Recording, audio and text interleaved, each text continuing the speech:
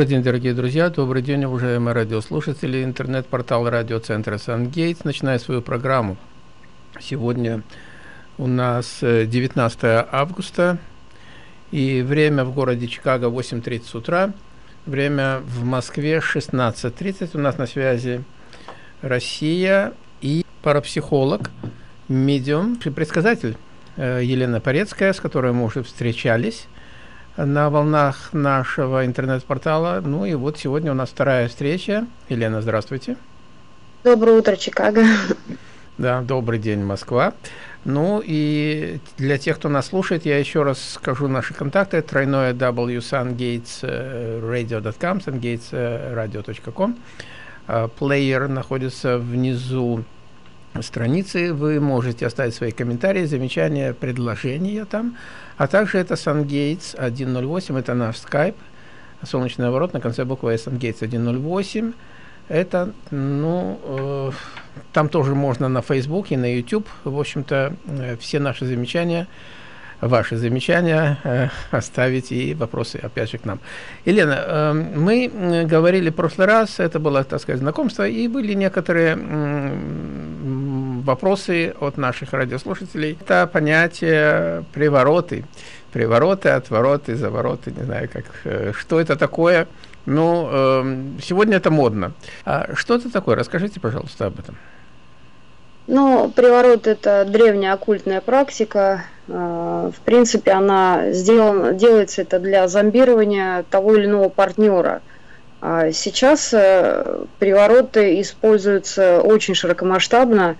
Э, начиная с э, массового, да, допустим, событий каких-то, это делается даже на уровне телевидения, это делается виртуально, да, и также это делается на бытовом уровне или корпоративном, если нужно, допустим, соблюдать определенную привязку людей друг к другу или к, к объекту приворота, да. Вот, то есть, ну, разберем обычный бытовой приворот, это делается обычно, ну, очень много женщин, Э, обращаются, кстати, но также и мужчина есть. Ну, мы разберем пример, вот, допустим, женщина приворожила мужчину. Э, если этот приворот э, делается на месячных, это стандартная да, такая практика, и через спиртное, то в итоге мужчина этот будет болеть и сопьется. Да? То есть приворот влияет полностью на всю суть мужчины, то есть на предметную и духовную. А, ну, ощущения каковы у человека, которого приворожили, он полностью живет объектом, э, к которому его приворожили. То есть это уходят все старые привязки, все, что раньше интересовало человека, он полностью сосредоточен только на объекте приворота. Но э, э со временем приворот он уходит. То есть, если, допустим, это виртуальный приворот, да, НЛП практика такая есть, да, э, то если заканчивается влияние человека, который влиял, то привораживаемый объект начнет как бы просыпаться. А, ну, тоже ощущение каковы, ты начинаешь вдруг видеть мир э, по-другому. То есть как будто цепи сползает, как будто горизонт открывается, а человек начинает просыпаться и его начинает интересовать все, что интересовало его раньше. То есть это при полном снятом привороте у человека начинают работать все старые функции, которые его раньше двигали в жизни. Вот. Если не снимать приворот, то у меня были случаи, где у людей вся жизнь шла под откос. И если вовремя не снять, соответственно, человек просто может уйти от болезни, а, от проблем. И хуже всего, что это все становится родовым, по, на, на уровне ДНК, да, это также все передается. И если человек родил ребенка, допустим, ему это передается, и также ребенок несет потом проблему этого приворота уже в своей жизни. Если вы обратили внимание, очень многие дети повторяют судьбу родителей. А, там, где был приворот, там, по сути, очень одинокие бывают люди и не всегда не могут найти себе пару. Э, либо нету детей, да, то есть пробой идет по деторождению, смотря с какой установкой делался приворот. Угу. Вот. А, Лен, скажите, а приворот э, в отношении мужчины, женщины, женщина к мужчине, я понимаю так, что вы такими вещами не делаете. Вот пришел к вам клиент и сказал, э, она сказала, вот хочу вот этого олигарха. А он у него он женат, он у него там, я знаю, все дома, все прекрасно. А, ну, вначале теоретически такой вариант возможен? Можно, Можно. и сейчас существует очень тяжелая в этом плане ситуация. Называется, я считаю это рейдерским захватом а, партнеров и имущества, потому что одна из, э, ну, один из рейдерских захватов, у меня просто были люди бизнеса, которых таким образом, э, э, то есть воздействуют на жену или на мужа с помощью партнера какого-то левого или партнерши, и таким образом разбивает сначала семью, потом эта партнерша там влезает к мужу в постель дальше, соответственно, э, жена может остаться, кстати, ни с чем, были такие случаи. Ну, там, опять же, смотря какая ситуация, но это стандартно, да. И дальше идет уже захват имущества, то есть мужчине крутят голову, то есть э, это, ну, приворот делается, это человек начинает там работать, человек начинает в этом бизнесе крутиться и начинает уже влиять, вплоть, может быть, до переписи имущества и так далее, то есть настолько люди бывают подчинены э, тем, кто привораживает. А, кстати, в Америке вот у меня есть клиенты, где реально таких ситуаций очень много. У вас это очень распространено. А, особенно, когда молодые девушки хотят чего-то завоевать, и они таким образом через воду приворот, это очень, кстати, тяжелая тоже практика, они практически захватывают объект якобы любви, хотя любви там особой нет, там просто имущественный интерес. Вот, и на самом деле э, такое присутствует. Но я лично приворотами не занимаюсь, я снимаю привороты. А, делается это по сеансово. Почему? А, нельзя взять у человека, убрать из головы программу, которую в него заложили. Ну, представьте, человек влюбился якобы в объект своей любви, а это всего лишь приворот. Но для человека это, это реальность, то есть он об этом думает как об реальном. Если у него резко выдернуть эту программу, сняв приворот сразу, то у человека за место этой программы будет эффект пустоты, а, а подобное притягивает подобное, так как он помнит те ощущения, он все равно будет искать подобное. Вот, соответственно, он найдет э, другой объект такой же, да, и будет уже опять тот же самый приворот, просто будет восполняться за счет той памяти, которая была у человека, которого приворожили. Поэтому приворот надо снимать пассиансово и э, давать взамен э, другие установки, которые у человека работают как защищающие уже от того воздействия, которое все-таки может быть. А, ну, потому что люди, которые обычно привораживают, они это делают порциями, да, ну, через какой-то промежуток времени, там, на полнолуние или на новолуние, у кого какие вообще, да, практики. Вот, поэтому бывает такое, и сейчас это очень распространено, к сожалению, я считаю. Mm. Лена, скажите, но ведь э, человек же об этом не знает, что ему сделан был вот такой вот приворот. А не знает ни он, не знает э, его, допустим, жена. А, это можно как-то определить? Нет, бывает, что просто действительно чувство. Тут э, как отличить? Э, во-первых, э, если просто мужчина там пошел налево, влюбился, ну просто в объект своей любви, у него не будет резкого перекоса от прошлой жизни, да, то есть он также будет относиться хорошо к детям, он не будет лишать жену там какого-то финансирования для детей, то есть не будет никакой войны, он постарается это разрулить грамотно, потому что все равно у него чувство к жене, как бы, да, оно тоже присутствует. Э, Все равно он для нее тоже чего-то старается делать. То есть в этом случае э, получается новая жена как бы получает мужчину с приданным, да, то есть с заботой о прошлой семье, и тут надо с этим считаться. Но, к сожалению, очень большой процент вот подобных э, практик, вот сколько я встречала ситуаций, почему-то хотят именно забрать мужчину из семьи, Э, и, соответственно, сделать из него подобие вот для себя, да, то есть чтобы он полностью перестал там помогать той семье, э, вот. И как распознать приворот? Э, во-первых, мужчина привороженный, он ничего не слышит. То есть ты как бы ему говоришь, а он не воспринимает ту речь, которую раньше воспринимал от жены. То есть, э, во-вторых, у него определенный стеклянный взгляд. То есть это просто вот у всех, у кого я спрашивала, у женщин и мужчин, кто с этим сталкивался в семьях, состояние стеклянного взгляда. То есть ты говоришь человеку фразу, а человек тебя не слышит, он смотрит на тебя, у него одна какая-то своя правда, вот, ему хочется уйти из дома, вплоть до драк это может быть. Э, вот говорят, что э, потом мужчина бьет того, кто привораживал, это уже потом, а изначально сначала он отыгрывается на той семье, Э, из которой его пытаются забрать.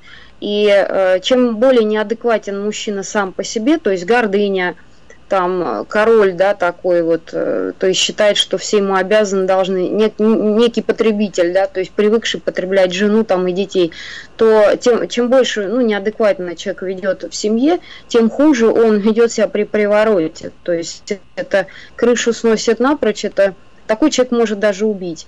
И в этом случае ни в коем случае нельзя женщинам конфликтовать с таким человеком. Здесь нужно просто уже обращаться к специалисту по снятию приворота и налаживанию микроклимата в семье, к восстановлению тех позиций, которые были до приворота, и отведению недоброжелательниц, потому что ну, обычно это, опять же, не быстрый процесс. У меня были случаи, где приворот я снимала там на раз, два, три, там буквально там месяц, два, три, и человек уже все, он в семье.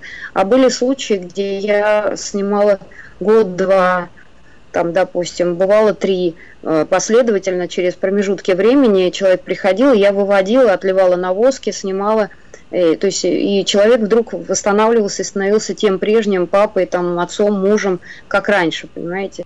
Это называется специальный обряд, да? Это, в общем, относится к разряду каких-то магических практик, правильно? Ну, это вообще, да, это делается с помощью магических практик, но опять же у каждого специалиста они свои, кто-то там свечами, кто-то молитвами. Я все это делаю на картах и в своей голове, поэтому как бы вот показать шоу такое я не показываю, соответственно. Я это делаю, с, работаю с человеком, с его сознанием. Если бывали случаи, когда сам человек, которого привораживали, э, приходил, и я работала с ним. Еще тоже существует такой фактор. Есть очень сильные люди, вот реально сильные, которые сами могут себя снять приворот. А, они начинают чувствовать, что их как-то партнерша или партнер держит, э, и в, в частности я сама это проходила, да, у меня такая ситуация была, вот, и в какой-то мере ты начинаешь как бы просыпаться, да, то есть это состояние, когда ты вдруг начинаешь себя вспоминать того, которым ты был раньше, и вот этот момент оживления себя, а, он позволяет вспомнить, э, заметить нестыковку в том, с кем ты живешь, как бы проживая не свою жизнь, а жизнь вот этого партнера. И ты начинаешь тогда уже, вот я знаю, сколько людей, то и кто сам мог вот все-таки эту практику себя снять негативную, а, но это идет через осознание, то есть человек осознает себя прошлого, и убирает у себя те программы, которые человек, э, допустим, какой-либо ему навязал. Значит, э, бывает семейный приворот. Uh-huh, Семейный приворот это когда родители не устраивает э, партнер э, детей, да. Примерные случаи, там, допустим, мама, свекровь не устраивает ну, невестка, да, бывают такие случаи. Или наоборот, вот теща недовольна зятем. Начинают тоже ходить к бабкам, отводить этого несчастного зятя или несчастную невестку. Вот, э, честно вам скажу, начинает дарить какие-то вещи, которые напичканы э, негативной программой, люди начинают болеть через это э, которым они это все пихают. В общем, и в итоге получается, что семьи такие распадаются, расходятся. То, то, то есть тут тоже надо, конечно, смотреть, если подобная ситуация происходит от родителей, от каких-то, то Э, молодые, если это действительно чувство, они должны как-то консолидироваться против этих обрядов, либо э, тут все очень индивидуально вообще вот реально, потому что бывает действительно влезает в семью такой вот э, троянский конь, назовем это там, чтобы опять же отбить имущество и прочее, то есть через сыновей, через дочерей, тоже сплошь и рядом это сейчас кстати, происходит. То есть тут надо просто бдительность и определенные знания, чтобы и ощущение, что реально ли это чувство или оно навязано. Вот такой вопрос. Допустим, э, ну, человек чувствует себя влюбленным, неважно, мужского пола, женского пола, э, и для него все нормально. Ну, всякое бывает, разлюбил, разлюбила. И вот сейчас создается там новые отношения, и новая предположительная семья может создаться – а, ну, вокруг видят родственники, друзья. И они ему говорят, а он, как вы сами говорите, он зомбирован, он ничего не видит, на него уже наведено. А, и обращаться ему говорят, давай мы, мол, обратимся там к магу. А он говорит, какая, какие маг, какие привороты, все нормально, все хорошо, все в порядке. А, допустим, если обратились э, бы к вам кто-то там из э, там, друзей, неважно, а, вы могли бы на расстоянии посмотреть, это действительно приворот – или это, ну, просто вот человек влюбился и все? Ну, практически приходится на расстоянии смотреть, потому что люди звонят и не всегда могут приехать в офис. И я работаю онлайн тоже, и реально, да, можно посмотреть также. Я также снимаю онлайн, то есть на расстоянии. Это также все видно, соответственно, что у человека, допустим, есть приворот. Сам привораживаемый, он э, мало будет, ну, он не будет осознавать, что он приворожен. Особенно если это обычные, бывают вот люди обычного сознания, которые вообще в это не верят. А для них это просто реальное чувство. Кстати, с таких сложнее снимать, потому что они в это абсолютно верят. Вот. Но первый принцип, первый признак того, что у человека есть приворот, это когда его начинают отбивать от привычного русла жизни, когда а, его отбивают от родственников, а, когда родственники вдруг начинают тоже болеть из чего-то, да, вот, когда, допустим, ну тут опять же негатив, я стараюсь э, ну, я стараюсь снимать это безадресно, первично, да, когда я работаю, вот, допустим, я просто отвожу с людей негативную заложенную программу и восстанавливаю их отношения. Вот, ну, кто-то работает по-другому абсолютно, то есть есть разные специалисты в этой области, вот, но все равно э, при снятии приворота происходит смена сознания у человека, да, и тут нужно именно близкому человеку, жене, допустим, если она заботится об этом, э, четко выполнять установки какие-то, вот как я, например, даю или кто-то, смотря кто снимает, чтобы э, у мужчины не создалось впечатление резкого выхода из этого состояния или у женщины. Вот, допустим, э, к вам обратились по этому поводу. Что, что для вот этого требуется? Ну, я обычно фотографию беру, если это семья, то беру, мне нужно, чтобы люди присылали свадебную фотографию, желательно с гостями, потому что бывает, что э, пред, преддверием приворота был негатив, заложенный на свадьбе. Э, дальше мне нужна фотография родителей с обоих сторон, да, с его и ее. Э, и, соответственно, период, где начался этот приворот, я примерно вычисляю, когда это было сделано. Мне желательно фотография там, того же мужчины или женщины того периода, когда на нем это было сделано. А, ну, бывает, что вот я, когда снимаю какой-то негатив, если это со школьной скамьи, я прошу принести фотографию там определенного года даже. Вот. И, и соответственно, а, я прошу принести, если есть фотографии недоброжелателей, потому что бывает, что отбивает мужчину, но, допустим, мы не знаем кто, да, человек шифруется, прячется, вот. Еще тоже есть такой момент, э, почему тут все очень тонкая, тонкая грань. Бывает, что, э, как это сказать, ну, как бывает, что у человека, вот если ваша, да, если это человека, вот, естественно, его необходимость какая-то, то никакой приворота, никакое воздействие это не сломает, не убьет. А, только если в чем-то это было не твое, допустим, или не его, да, то на это уже может влиять э, недоброжелательность, э, недоброжелательный человек э, отбивает, допустим, ну, мужа от жены и наоборот. То есть если девочка там рядом с мужчиной взрослым там выглядит ну, как-то, как людям кажется, не очень. Им кажется, что вот там другая женщина смотрелась бы лучше. Каждая же себя примеряет в таких парах и начинает уже заведомо лезть виртуально сначала таким образом. Вот если девочка в таком браке, девушка, да, чувствует себя неуверенно, то, соответственно, на эту неуверенность э, придет негатив, который потом в дальнейшем раз, разломает эти отношения. Ну, это опять, опять же один из примеров. А, тут еще важны ощущения партнеров друг к другу, понимаете? То есть, чем они живут, какие у них общие устремленности. Если партнеры просто сексуально друг другом живут, то, соответственно, там и разбить пару такую легко. Если у людей есть духовные предпосылки, э, кармическая очень хорошая взаимосвязь, там они достаточно друг друга чувствуют, понимают, ощущают, то такие пары, они крепкие. И здесь просто главное прислушиваться с партнером друг к другу, чтобы не было чуж чуждого влияния. Немножко вот это абстрагировать от семьи просто. Понятно. Скажите, Лен, к вам э, приходят, э, ну, немножко уйдем от этой темы, потому что э, или, может быть, последний вопрос именно в связи с этой темой. А не будет ли так, что вы, допустим, вмешиваетесь э, э, в судьбу этих людей и пытаясь, допустим, снять приворот, на самом деле это не был приворот, на самом деле это была просто действительно влюбленность, и людям все в порядке, все хорошо у них, э, а вы пытаетесь это снять, и таким образом получается приворот на привороте сидит, то есть вы наоборот делаете. Такой Нет, вариант возможен? Я... Нет, я когда снимаю приворот или привязку, угу. я снимаю именно это, то есть влюбленность, она никуда не денется, если она была естественна.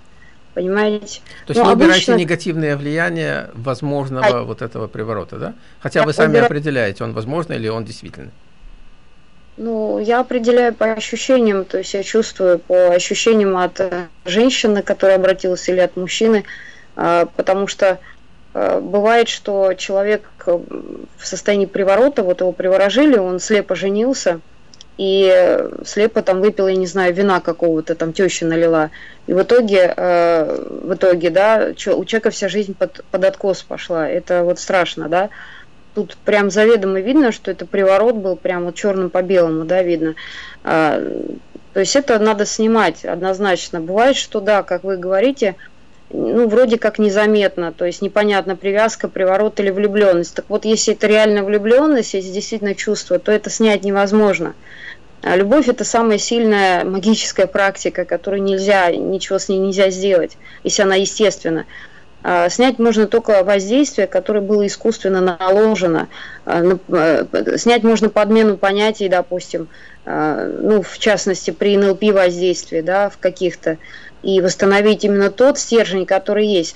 Невозможно, допустим, очень трудно снять приворот или любую программу, если у человека нет своего стержня, если он ведомый и было много приворотов. Этого человека колбасить будет по женщинам, ну, я вам скажу, не по-детски, да. Вот с такого человека сложно снимать и бессмысленно, потому что там уже заложенность родом идет. Там, допустим, определилось от отца, от матери что-то там было сделано и перешло уже ему. И он это несет как родовую программу. То есть и тут э, просто снимаешь уже так, чтобы это не вредило ему хотя бы настолько-то там, ну, немножко хотя бы, чтобы жил нормально. Понятно. Хорошо. Лен, давайте поговорим эм, о здоровье. Э, энергетическом здоровье. Э, к вам обращаются наверняка люди, которые в связи с какими-то причинами, они имеют проблемы со здоровьем. Э, доктора у нас лечат понятно как. Они лечат определенные органы, определенные системы, но человек это существо холистичное, можно сказать. Поэтому э, тут многие варианты. Скажем, на Востоке это все энергия человек заболел, можно ли это, допустим, ему облегчить его состояние путем изменения его негативной энергии болезни на позитивную энергию? Но любая болезнь, любая болезнь, это даже восточные практики подтвердят, это набор определенной негативной программы, которая была там за промежуток жизни. А, бывает так, что человек родился с этим, это значит, прошлой жизни он что-то натворил, и в этой жизни он несет как бы нагрузку, как наказание, да. Вот. Э, всегда тоже, опять же, снимается прежде всего негативная программа, которая была в человеке, да, по отношению к его здоровью. И э, ну, идет определенная чистка вот с помощью той медитации, которую я в тот раз давала, да, оздоровительная, но с помощью, опять же, э, разбора ситуации, откуда у него возникла эта болезнь. Потому что бывает, что вот люди жили-жили, все нормально – потом вдруг э, купили дом, я не знаю, да, и после покупки этого дома вдруг муж может начать себя плохо чувствовать. И я тогда уже смотрю, какая взаимосвязь там с этим домом, да.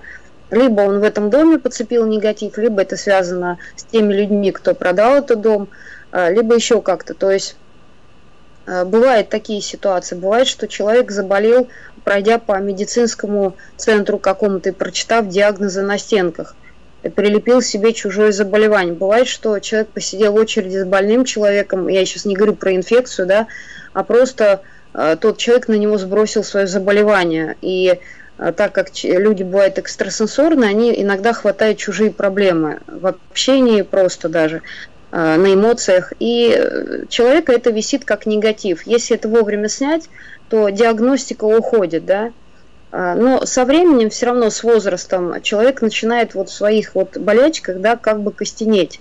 Ну, то есть он к ним привыкает, он привыкает, что у него там все время что-то болело, потом это вырастает в диагноз. То есть мы сами формируем, по сути, свои заболевания в той или иной мере, опираясь в теле на какие-то минусовые какие-то ощущения и начиная навешивать, думать, что это то, другое, третье. Вот. Опять же, люди не следят за своим здоровьем, да, мы едим непонятно что, по большей мере. А, здесь тоже это влияет. Мы пьем тоже воду, которая не совсем бывает хорошего качества. А, ну, по сути, человек это то, что есть среда. То, что сейчас есть в среде, то есть сегодняшние люди, которые болеют, э, исходя из того, что они дают среде, среда им отдает обратно. А, природа, да, назовем так. Поэтому это все можно снимать, но опять же взаимодействовать с человеком, потому что человек сам должен захотеть изменить свою ситуацию, выздороветь там, или хотя бы при снятии негатива происходит момент, когда либо человек сам оздоравливается, у него уходит диагноз, либо человек э, находит специалистов дополнительных, которые на уровне медикаментозном могут решить этот вопрос. Тут еще зависит от веры человека, во что он верит, понимаете? Ну да, да. А, скажите, э, тяжелые заболевания типа рак, что это за, за заболевание с точки зрения энергии, как вы считаете? Ну, я считаю, что это очень сильная порча или проклятие даже. То есть это э, связано с тем, что человек э, несет на себе либо проклятие рода, то есть что-то вот он нес, нес э, род его, да, и к нему это пришло, и он отрабатывает это. А, либо еще и плюс при жизни насобирал, да, то есть сам может такое быть, что это можно снять, соответственно, да. Э, есть сейчас практики изуч... излечения от онкологии, и не обязательно это химиотерапия, вот, но э, опять же, тут э, это немножко элемент фатальности онкология, то есть здесь как лотерея, наверное, как нужно ли человеку дальше жить или нет, то есть смирился он с этим или нет, то есть здесь очень много тонких граней прежде всего сам человек внутри должен бороться с этим диагнозом э, сам, понимаете, а потом уже находятся специалисты, которые вдруг помогают ему выйти из этого тупика. И очень много случаев, где люди сами действительно начинали с этим бороться и даже сами побеждали эти подобные заболевания страшные. Ну, да, это понятно. Мало найдется людей, которые, получив такое заболевание, такой диагноз, э, сложили руки и отдались на волю так сказать, ну, как будет, так будет. А то и пустились во все тяжкие, как говорится. А в основном люди, конечно, пытаются бороться, они идут то ли к, э, врачам, в основном, конечно, то ли они пытаются искать какие-то альтернативные методы. Когда я вам задал этот вопрос, вы однозначно на него ответили. А, то есть это не заболевание, то есть это какое-то вот такое вот проклятие. Ну, это, это да, энергетически это как проклятие даже. А если смотреть, рассматривать медикаментозно, то прежде всего это грибковые заболевания. А просто там определенный баланс в организме нарушен, и, соответственно, пошло распространение онкологических э, клеток вот этих. Поэтому сейчас в Италии есть врач, который лечит это определенным раствором. Э, очень интересно тоже. И практически говорят, что если соду даже как-то с чем-то принимать с лимоном, да, то восстанавливается щелочной баланс какой-то, который э, не позволяет онкологии развиваться. Ну, ну звучит, это... конечно, это как-то, э, если бы все было так просто, так наверняка бы все бы онкологические больные пытались это сделать, это совершенно Вы знаете, легко сделать в домашних условиях. Нет, в Италии, в Италии вот этот врач, э, действительно, это интересно, но вплоть до того, вообще существует фармацевтический, конечно, заговор, и, по сути, никому не выгодно, получается, лечить людей, потому что это очень большие деньги, когда люди тратят лекарства на лекарства, согласитесь, поэтому кому выгодно э, простое сода обычно или что-то еще, чтобы человек вылечился, или целители, которые помахали руками, и у человека все прошло. А, это, естественно, бизнес, понимаете, и тут существует корпоративный заговор, и Э, уже это другая тема, наверное. Ну, э, сейчас, да, мы эту тему трогать не будем, тем более э, догадки. А, и, кстати, как всегда, нам нужно сделать такое маленькое отвлечение, потому что надо сказать о том, что руководство радиостанции не несет никакой ответственности за мнение гостей в эфире, не всегда согласны с этим мнением. Это, так сказать, на всякий случай. Есть мнение, а вот как уже информация, как уже пользоваться этой информацией, это уже дело каждого человека. А, скажите, а как по поводу того, что на Востоке считается, по многих даже религиях в том числе, что если человек получил такое тяжелое заболевание, это означает, что он где-то в прошлом а может быть и не в прошлой жизни, а может быть еще за это, задолго до этого. Он что-то такое сделал, и вот сейчас пришла, так сказать, то, что он сегодня называет э, таким словом карма. То есть э, пришло вот следствие после этого проступка. А, ну, это не проклятие, это просто человек э, как бы совершил вот такое противоправное действие по отношению к кому-то, чему-то или э, и вот и он получил вот такое заболевание. Как вы ну, считаете? Это Э, это тоже может быть, э, вполне вероятно, потому что, опять же, все очень индивидуально. Мы немножко просто более схематично же рассматриваем сейчас вопрос да, того или а если брать глобально, то и такое присутствует. Любые заболевания сегодня а, у людей это следствие того, что они накосячили в прошлых жизнях. И если посмотреть уровень того или иного заболевания, в принципе, можно даже проанализировать. Но суть в том, что у каждого человека сегодня рожденного э, разная причинно-следственная связь. То есть э, закон бумеранга работает у тех, э, кто, у кого длинная причинно-следственная связь, кто более профанирован, кто не развивается, у них работает длинно, то есть через 10 реинкарнаций его может настичь наказание за то, что он там кого-то убил. А у тех, у кого причинно-следственная связь короткая, это люди духовные, да, а, опять же, не путать с религией, да, просто духовные люди, которые развивают свое направление, свою душу, свою ментальность, астральность. А у этих людей причинно-следственная связь короткая. Они очень быстро могут делать вывод из той или иной ситуации, и даже они не обязательно будут экстрасенсами, это могут быть обычные люди, но у них будет вот такая быстрая взаимосвязь, и у них не будет такого проблемного заболевания, по той причине, что у них всегда был э, быстрый ответ, почему это получилось. И они просто старались больше не наступать на грабли. Вот. Э, а так, конечно, это присутствует. Если, кстати, сейчас посмотреть вот, э, ну, на действительность российскую, да, у нас очень много вот отказных детей, да, вот говорят. Ну и, и в Америке, во всем мире такая ситуация присутствует. Если посмотреть на рождение детей, ну, как бы брошенных, да, то и нежелаемых, это прежде всего сейчас рождаются те сущности, кто в 90-е годы, э, соответственно, уходил в криминал, и где-то их когда-то подстрелили, там где-то они неправильно повели себя, соответственно. И в итоге эти люди сейчас рождаются практически на нуле, то есть нулевая реинкарнация, по сути. Ну, в каком плане нулевая? То есть с нуля у них нет родителей, родственников, а, потому что у них идет попытка подняться заново. И вот тут дается урок такой кармический, либо человек из такой среды поднимается и становится, опять же, э, кем-то, да, в этой жизни, допустим, либо он, э, ну, спивается, скуривается, э, теряет себя и, по сути, как бы дальше идет по низкой уже реинкарнационной взаимосвязи. Может, в следующей жизни родиться там животным, да, уже, потому что он себя не осознал, то есть, что ему надо сделать в этой жизни. Но, к сожалению, у нас не дается мало дается общепринятых мер каких-то или линеек, или схем, или информации, как правильно себя вести, там, допустим, тому или иному рожденному человеку. Мы все развиваются схематично, как им заложено Дальше уже идет опять тот же набор ошибок, который был у родителей. Или, допустим, если это дедомовские дети, то они уже друг у друга копируют, э, идут по пути друг друга, там, или преподаватели, или старших там знакомых каких-то по улице, да. То есть, опять же, идет набор ошибок, прежде всего, а не набор понятий, как дальше поступить, чтобы вылезти из этого тупика. Ну, интересно, то, что вы говорите, это действительно интересно. Я уехал, правда, э, достаточно давно, но логически, если 90-е годы, ну, уже прошло достаточно 25 лет, чтобы появилось новое поколение, которое сейчас, э, да, вот то, что вы говорите, брошенные дети и так далее.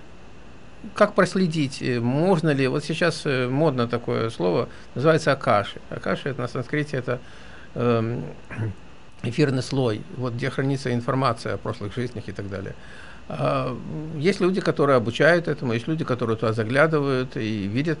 А, возможно туда посмотреть, чтобы определить, ну, почему с человеком это произошло, потому что считается, что надо пойти туда в рот поглубже и снять вот этот вот негатив, тогда будет у человека, ну, легче ему жить будет.